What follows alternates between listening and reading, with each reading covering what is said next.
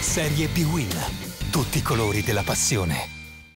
Per la quattordicesima giornata di Serie B-Win allo Stadio Adriatico di Pescara si affrontano i biancazzurri padroni di casa e il Piacenza di Armando Madonna. Otto precedenti in Abruzzo tra queste due squadre con tre vittorie a testa e due segni X.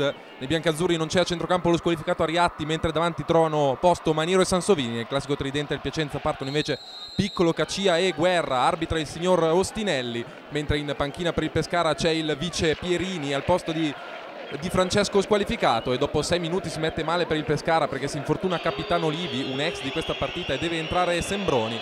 Dopo nove minuti c'è la prima occasione della partita, però Guerra va molle sull'assist di Cacia e spedisce sul fondo.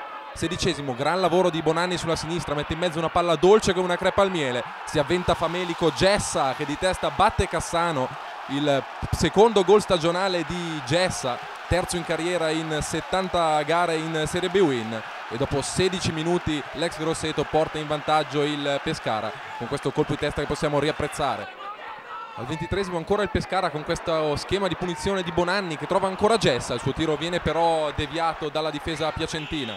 Angolo dalla sinistra per il Piacenza che reclama un fallo di mano di Sembroni a centro area, come vediamo dal replay c'era effettivamente il tocco di mano per il Pescara ma poco male per il Piacenza perché passano 60 secondi da un altro angolo identico. Arriva il pareggio degli emiliani con il tocco di sinistro di Tommaso Bianchi. Secondo gol stagionale anche per il 22enne del Piacenza e dopo 27 minuti è 1-1 all'Adriatico 33esimo ancora Bonanni su punizione spicca Cascione di testa che manda fuori di pochissimo grande occasione per il Pescara ma è il Piacenza invece a passare in vantaggio con questa conclusione fenomenale al 36esimo di Piccolo che coglie Pinna fuori dai pali traiettoria imprendibile per il 22enne napoletano possiamo riguardarla in questo replay assolutamente colpevole Pinna ma che traiettoria per Piccolo ed è 2-1 per il Piacenza.